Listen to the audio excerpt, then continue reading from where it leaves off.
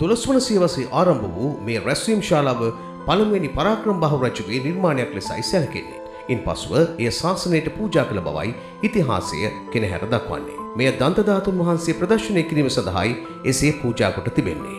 එය ඉදිරිපිට තියෙනවා සෙල්ලිපියක් එය ස්වාමින් වහන්සේලාට පූජා කරපු ස්ථානයක් හැටියට අත්තානිකනුවෙන් ප්‍රකාශ වෙනවා. මහනුවර යුගයට අයත් කැටයම් ගල්කණු සහලී කැටයම් නිර්මාණ සහිත වහලය යොදා තිබීමද මේ කැපී පෙනෙන විශේෂත්වයක්සේ සැලකිය හැකි. තවත් සෙල්ලිපියක කපුටන්ගේ අනුරූප දක්නට ලැබෙන අතර එයින් අර්ථ දැක්වෙන්නේ මේ භික්‍ෂූන් වහන්සේලා හැරණු විට ගිහි ජනතාව පරිහරණය කළහොත් ඔහු කපුටන් වන බවයි.